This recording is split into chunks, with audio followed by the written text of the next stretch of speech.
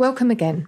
Ann Gadd is a writer and artist, and she's been studying the Enneagram for a long time 15 years. She's authored, I think, four published books on the Enneagram and a staggering 22 other books, mostly in the self help or psychological domain. Her Enneagram books are Better Parenting with the Enneagram, I think that's the newest one, the Enneagram Kids series, Sex and the Enneagram, and the Enneagram of Eating.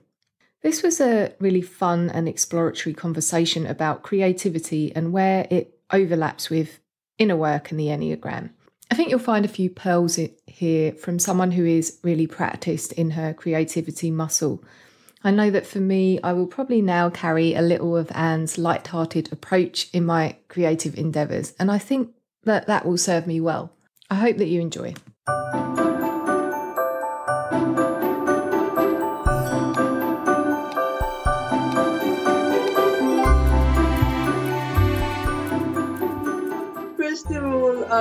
Think all of us are creators, and I think I've always been essentially in a process of creation, whether it was art, whether it was cooking, whether it was creating a garden, um, painting, writing books, illustrating books. To me, there's a wonderful, playful aspect about life if you kind of engage with your creativity. So I have, I think right now, had about 37 books published. 37. When was your first, when did you write your first book? Um, How many years um, ago?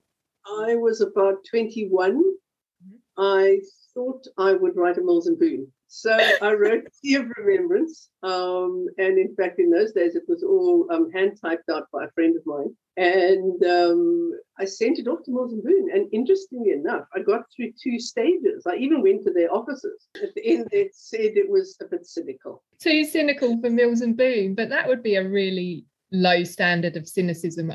No, I'd also said it in St. Ives, which I had visited, but it was obviously clear to them that I hadn't lived in St. Ives. Um, but yeah, that was my first entry into writing. And then for a long time, I didn't do any writing. And then I started doing um, Reiki and uh, foot therapy and various alternative therapies.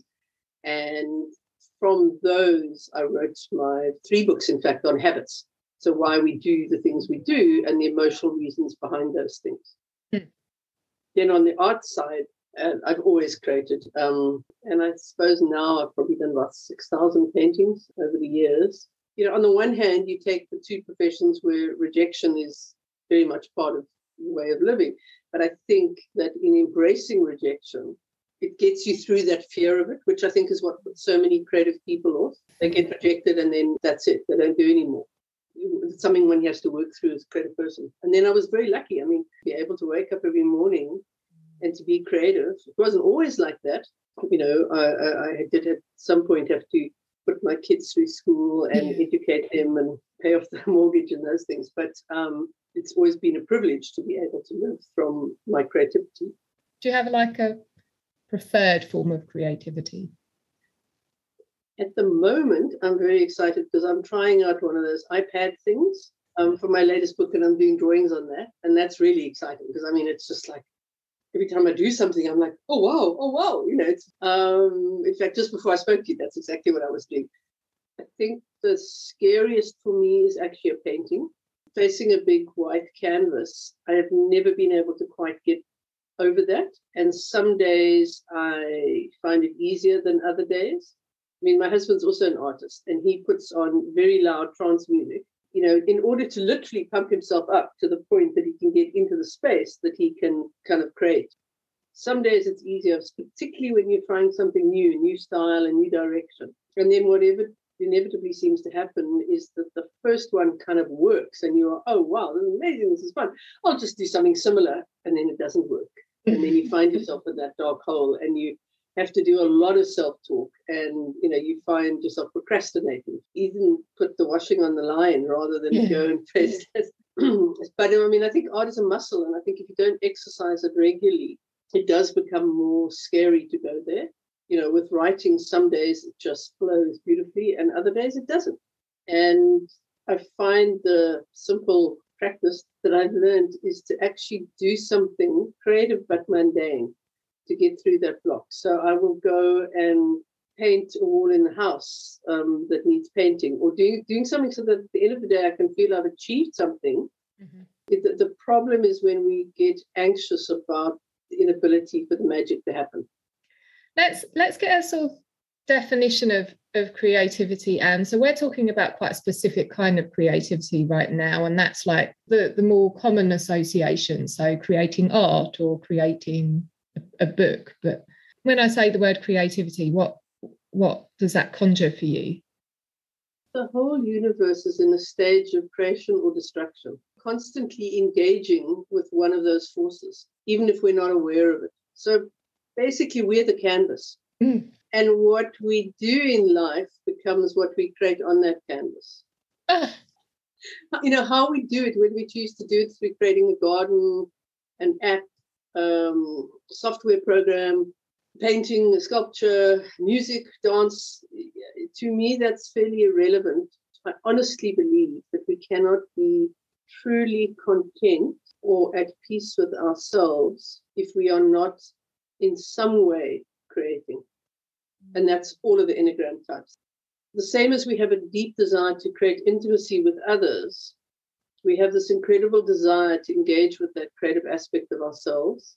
And so often, so much healing happens just simply by engaging with our creativity on some level.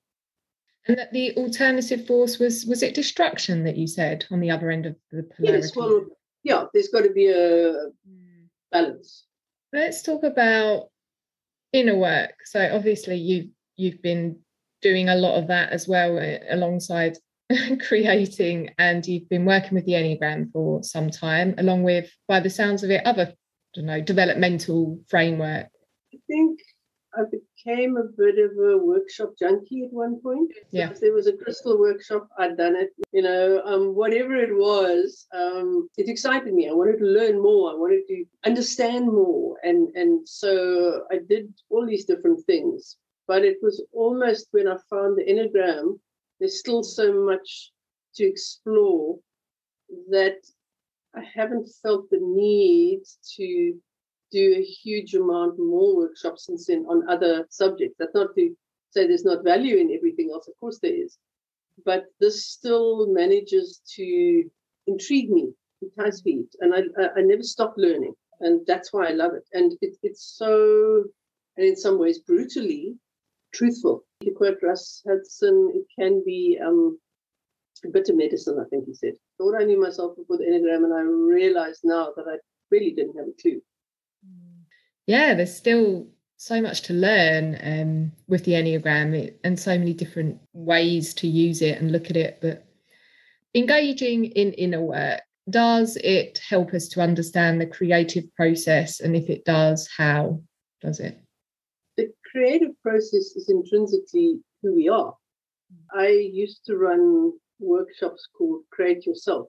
And really, what we put on that canvas is an expression of our inner selves. Through creating through the lens of the Enneagram, it gives us another way of understanding our creativity because our type obviously is going to influence how and what we create perhaps not to the same extent as the instincts, but it certainly um, is going to affect us. And also, obviously, what goes along with that is how our types and their neuroses are going to, or fixations are going to inhibit us from being creative, from reaching our potential. In having understanding of our type, we can become aware of where we're blocking our self expression on all levels not just on the canvas.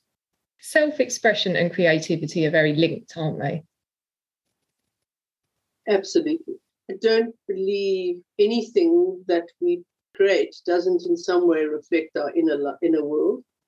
Um, you know, we're really taking here and putting it on the canvas. And I mean, I ran these creative expression workshops for 12 years, and I never ceased to be humbled and amazed at how revelatory our creations are.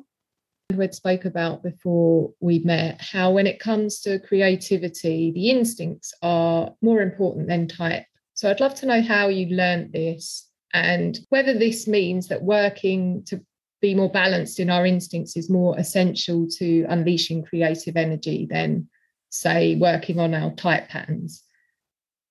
Look, I think both are important, but I think your instinctual drives is a much stronger force one of the things I love about writing is finding this thing, being an explorer in a new land, and then you find this thing that, wow, I haven't seen that plant before, you know. And when I wrote um, Paint by Numbers, Art and the Enneagram, what I really got excited about there was the realization of how much our creativity is affected by our instinctual type. So, in a very brief way, if we are self preservation, they probably make the best business artists, you know, the people who know how to run the business of art. And they would definitely be more focused on creating a secure income from their art.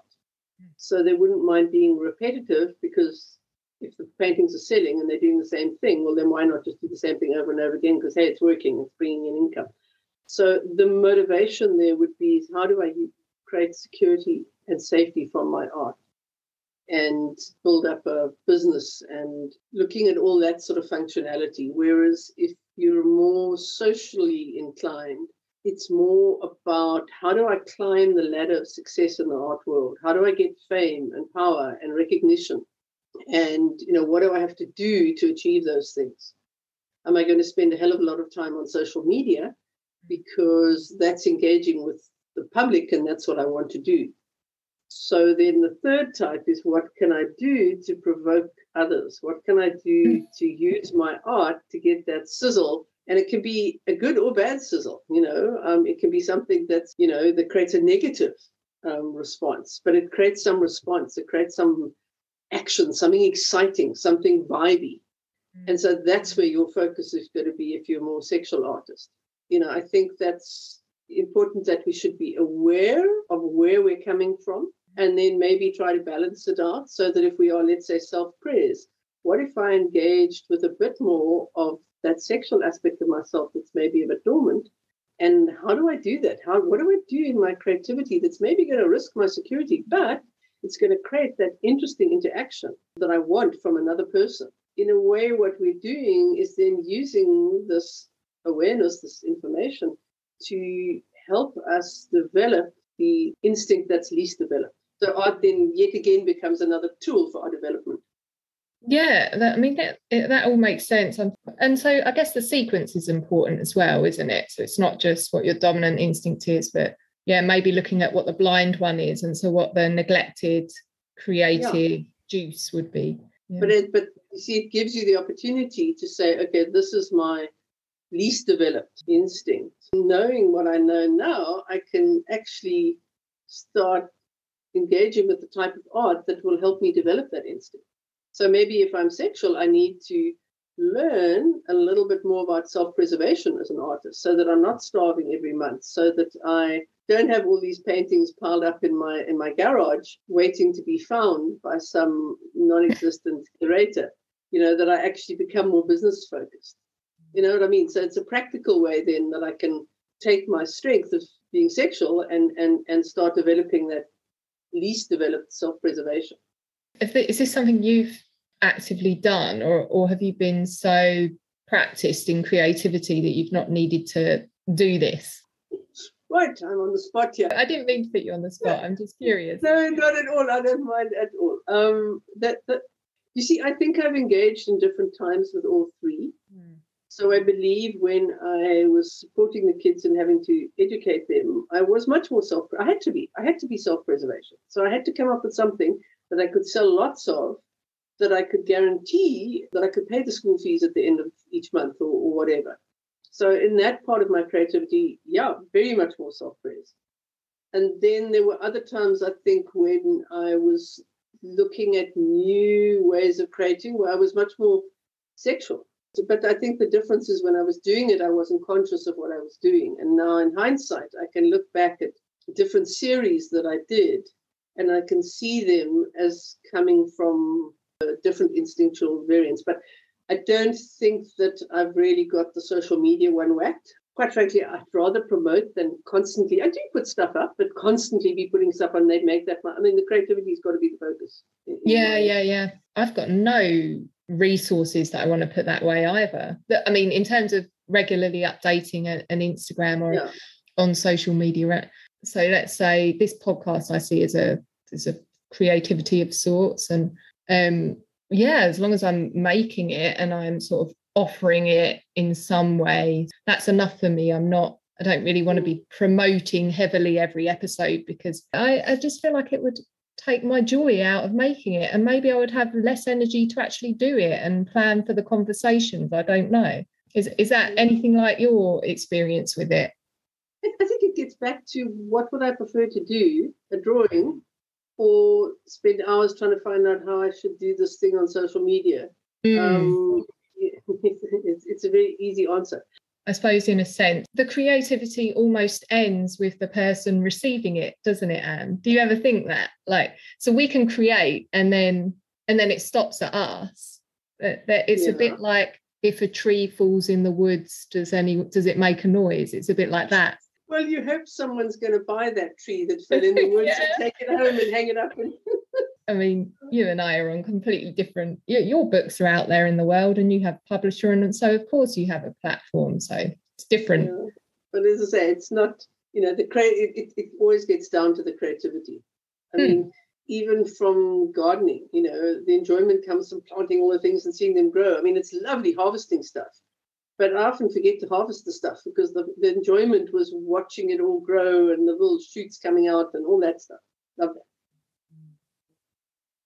okay, um, I've taken us off um, on a tangent here. Do you think, uh, do we have time to go through what what each type teaches us about creativity and what sort of blocks they might experience? We can choose types if we don't have time to do all of them.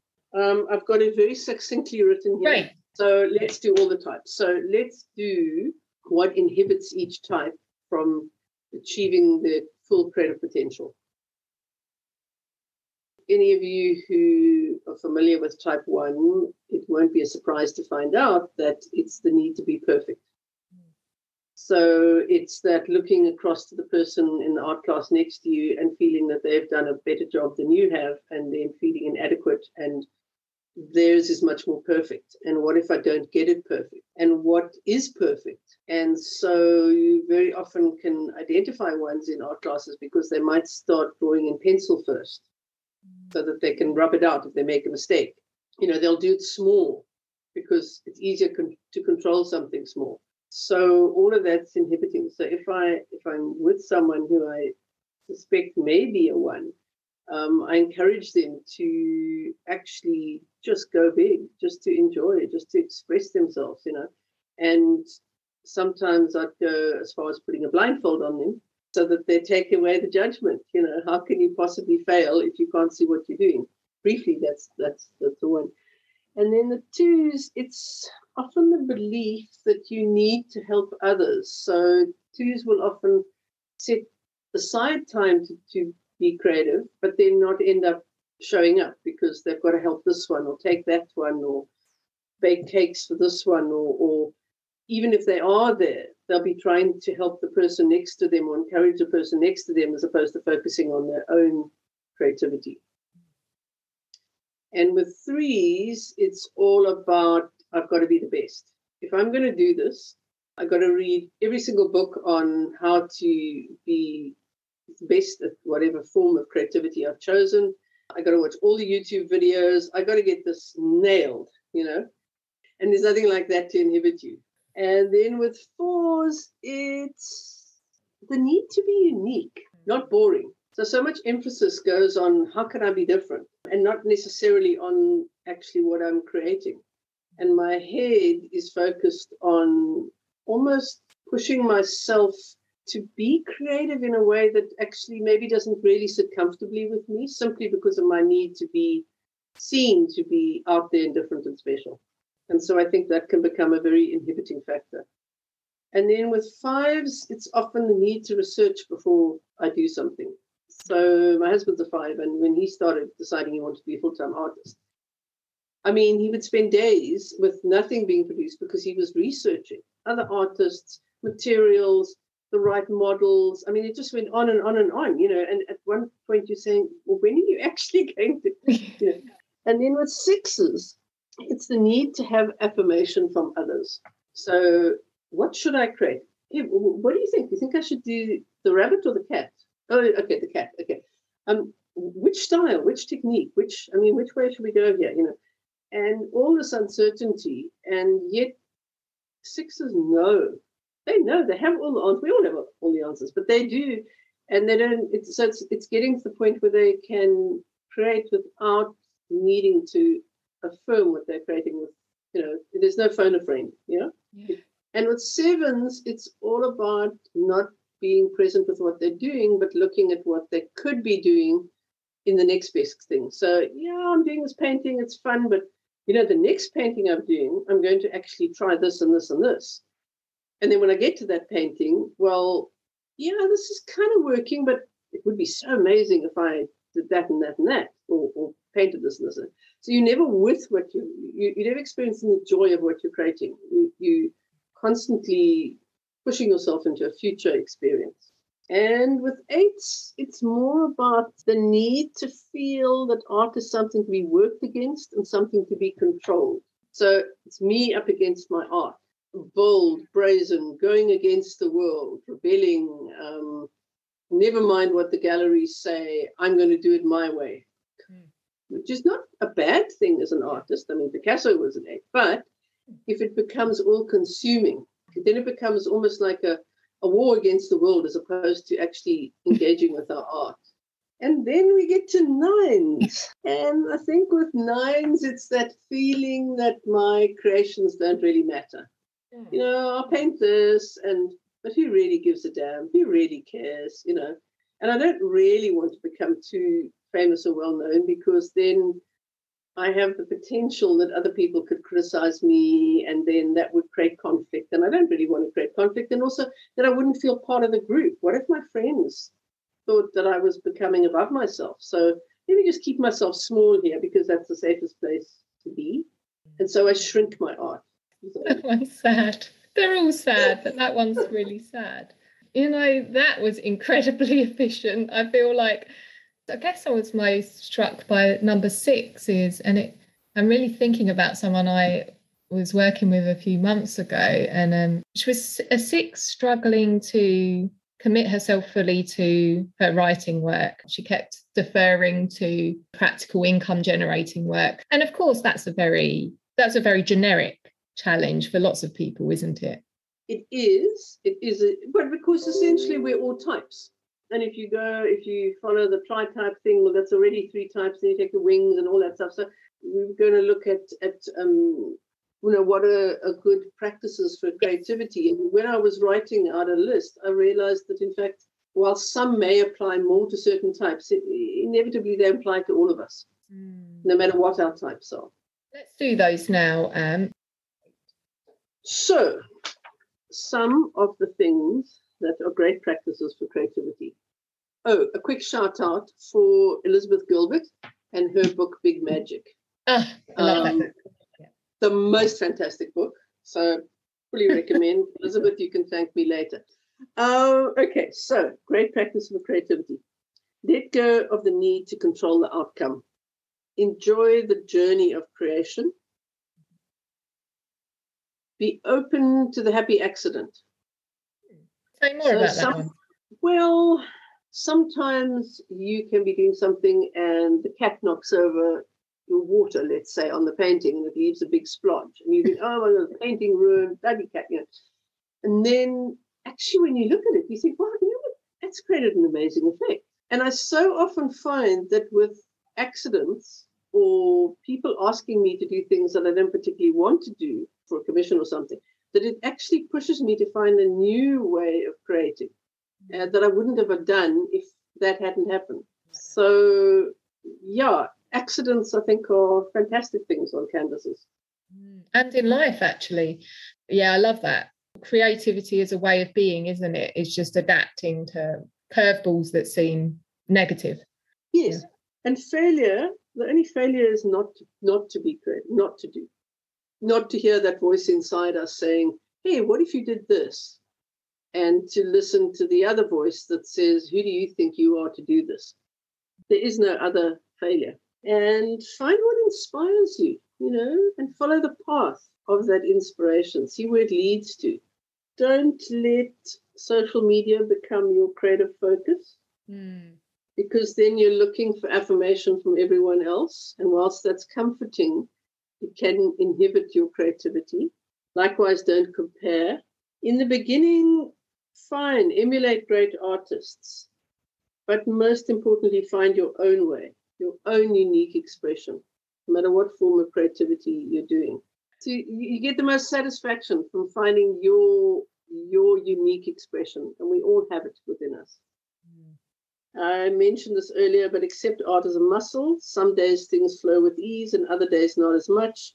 It's just like sport. You have better days and not such good days. And rather than try to fight against it. Just go with it. Accept that this is not that day, you know. Um, but don't stop creating on those tough days because on those tough days you could be on the verge of a major breakthrough. These all sound like good good self-talk as well and, and you do need to talk to yourself a lot uh, when you're in a creative process don't you well most of the time you're on your own mm. and while the pets make comforting company, um, sometimes they're not that good in terms of motivating you. So I think this does help you get through those times when you feel that things aren't working and you start letting doubt creep in and why did I ever start this project? Who am I to, to take on a project like this? You know, all that self-doubt that comes in. If energy is water throwing flowing through a hose, those doubts are what constricts that hose. Mm. As we've got maybe a little bit of time left, Ann, can you, because you've written these books, you've written books on sex and the Enneagram, parenting and the Enneagram, and um, what's the other big one on the Enneagram that you've written? Eating. Yes, um, eating. Enneagram of eating, yeah. And yeah. then the children's series of yeah. books. I can't wait to, to give my niece and nephews those. Yeah. Um, what what um how does that go? Is it like you get clear that you want to tackle that particular overlay, so let's say eating and the Enneagram, and then is the process of writing it generative of the insights? Is that what happens? Because that's what I imagine happens. Um, yeah, I think I find an idea that fascinates me or intrigues me, and then sorry, I'm just going to do a punt for my other book, um, Art and the Enneagram.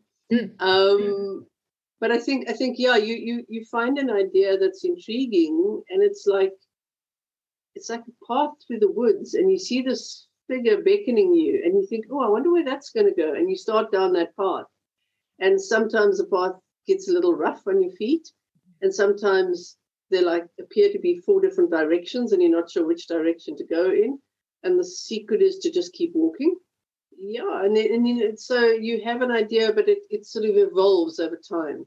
And I find that, um, you know, thank you, Auntie Google, because when you start, then you sort of almost get led to different sites and you find really interesting things and fascinating. I, I get very excited when um, it's very five-ish, but when I join to disparate ideas and I find that they correlate, mm. um, that there are connections between the, those two different ideas. And that's really exciting. And then, then you do feel like I mentioned earlier on an explorer that you're going on this journey and, you know, maybe or maybe not, you're the first person to have seen this mm. place. And that's exciting. But because the universe is the way it is, there probably 50 other people on the same path somewhere else also getting the same insights you know.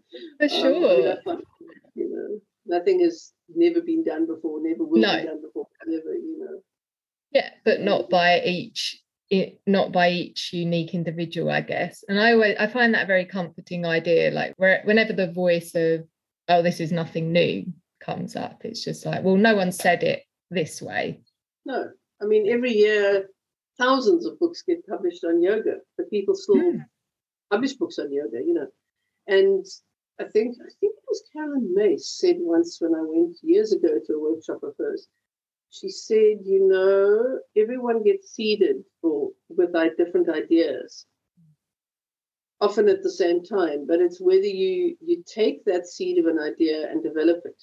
And if you have been seeded with an idea, then you have the potential to bring that idea to fruition. Hmm. So self doubt doesn't need to be there because you wouldn't have had the idea if you couldn't potentially do that. We can't afford to be self conscious about our art and our creations, can we, Ann? Well, that's one advantage of being a nine because nines aren't really self conscious. Yeah. And so, and we like to play. And so we, you know, it's, I mean, every type has obviously the benefits. Um, and that is one of the benefits of nines is that is that we can play and we can be unself-conscious. And yet, I have to say, when I wrote Sex and the Enneagram, um, there was a lady who was helping me um, just go through it, just check me factually and stuff. And she said to me, you know, and I could sense your absolute terror because as a nine, you don't want to create offense, and here you do are writing a book on sex you know um, so sometimes it does take a lot of courage to do things but i think if your belief in the idea of what you're doing is strong enough it gives you enough momentum to do it anyway and look, I'm fairly safe tucked down in the bottom end of Africa. Got to say That's true. so all else fails, you can just hide. Thank you so much for this. This has been so good. I'm looking forward to listening to it again on the edit.